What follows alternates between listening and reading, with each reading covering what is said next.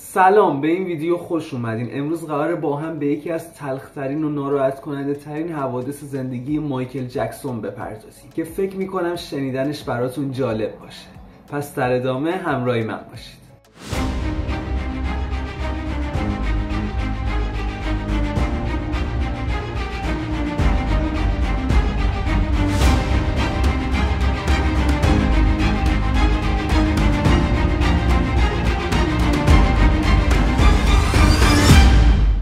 اول بریم به 27 ژانویه 1984 زمانی که دو سال از انتشار آلبوم تریلر میگذشت و مایکل تبدیل به سوپر استار جهانی شده بود و همه رکوردها رو یکی پس از دیگری میشکست. مایکل و برادراش قراردادی به ارزش 5 میلیون دلار با پپسی تو سال 1983 امضا کردند که الان مبلغ شاخی حساب نمیشه ولی خب تو اون سال این قرارداد رکورد گرونترین sponsoring رو تو اون زمان شکست. 3 میلیون دلار قرار بود برای تور Victory. آخرین تور مشترک مایکل و برادراش هزینه بشه. دو میلیون باقی موندهش هم برای تبلیغات تلویزیونی مایکل و برادراش در نظر گرفته شده بود.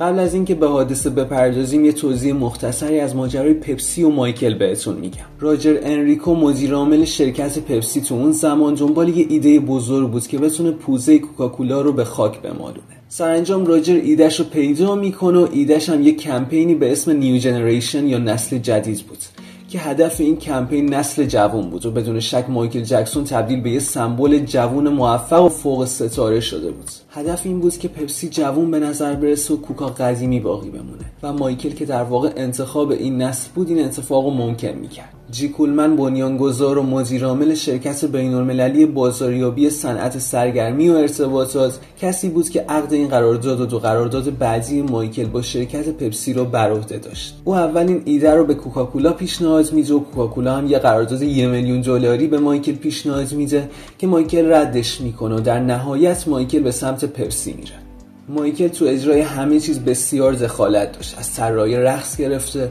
تا پیدا کردن محل فیلمبرداری برای موزیک ویدیویی تبلیغاتی. آهنگ مورد استفاده تو تبلیغ مثل گذشته آهنگ ساده و تکراری شرکت پپسی نبود و در عوض مایکل آهنگ بیلیجین خودش رو با شعری بازنویسی شده در ارتباط با پپسی تو این تبلیغ به کار برد. و این گونه بود که پپسی به فروش بالایی رسید. مایکل این کار تو سالهای آینده تو تور بد و دنجروس هم برای پپسی انجام داد و این تبلیغا بسیار موفق عمل کردن. در سال 1984 فروش پپسی 7.7 میلیارد دلار بود و سهامش در بازار افزایش داشت و این در حالی بود که گزارش های مالی تو اون زمان نشون می‌داد که کوکاکولا در حال سقوط مایکل و تیم پپسی سخت روی کنسرت شبیه سازی شده در تالار شراین لس آنجلس با 3000 بیننده کار می‌کردن. ششمین برداشت بود. آخرای فیلم برداری بود. همه سکانس های مورد نیاز ضبط شده بود و جمعیت منتظر مایکل بود که قرار بود بیاد روی صحنه و صحنه رو به آتیش بکشن بیت Billie Jean پلی شد و اول برادرای مایکل یا همون گروه جکسونز روی صحنه اومدن و جمعیت تشویقشون کرد. قرار بود مایکل بالای یه پله کوتاه ظاهر بشه و با یه قر ریز بیاد پایین و پشتش هم انفجار و آتیش بازی رخ بده.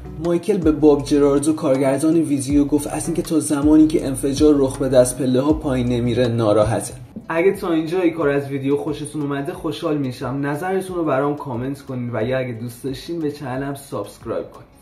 بدون معطلی بریم سراغ ادامه ویدیو. بر اثر اشتباه محاسباتی تهیه کننده ها مواد منفجر زودتر از زمان مقرر شده منفجر میشه و با ریخته شدن جرقه ها روی سر مایکل های مایکل که اون زمان به سبک معروف در هشتادی جریکر درست شده بود آتیش می‌گیره مقدار زیادی لوسیون و براق کننده به موهای مایکل زده شده بود و آتیش رو تشدید می‌کرد. مایکل در ابتدا متوجه نشد که چه اتفاقی براش افتاده. همچنین مایکل به خاطر اخلاق حرفه‌ایش جوری آروم بود که تماشاگرها فکر کردن این بخشی از نمایشه مایکل زیر پله چرخ زد و متوجه آتیش سوزی شد و سپس با فریاد و گریه برادر بزرگترش تیتو رو صدا کرد. تیتو تیتو. میکو براندو پسر مالون براندوی مشهور که بادیگارد مایکل بود نخستین فردی بود که خودش رو به مایکل رسوند و آتیش رو خاموش کرد.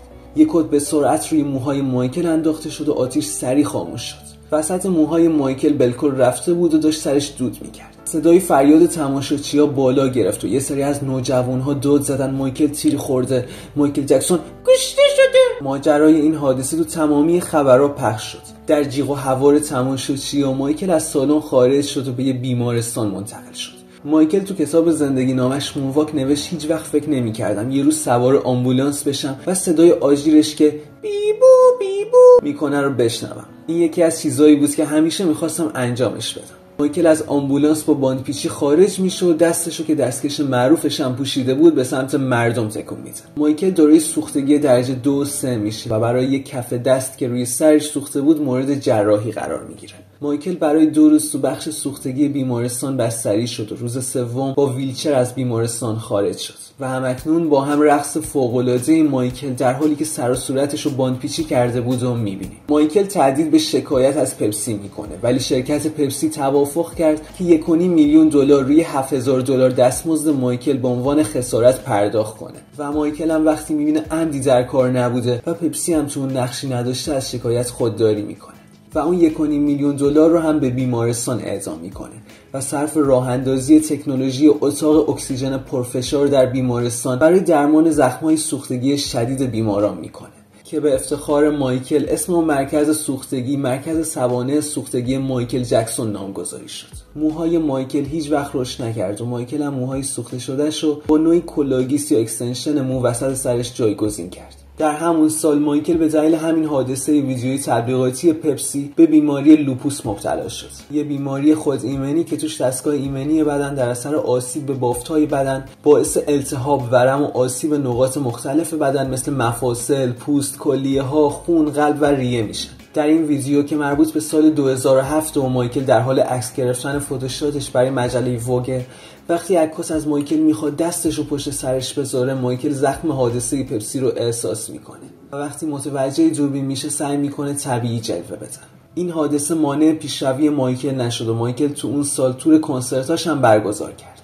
مرسی که این ویدیو رو تماشا کردین. نظراتتون رو حتما برام کامنت کنین بعد لایک و subscribe. و واسم بنویسین که بین چند تا ویدیویی که گذاشتم کدومش رو بیشتر دوست داشتین. آره کلا سعیم بر اینه که تا حد امکان تفاوت وجود داشته باشه بین ویدیوها. تا یکنواخت نشه یه بار مایکل جکسون زده نشه. ولی خب پیش میاد دیگه یه دفعه از مایکل جکسون خوشتون نیاد. تا ویدیوی بعدی خدا نگهدار.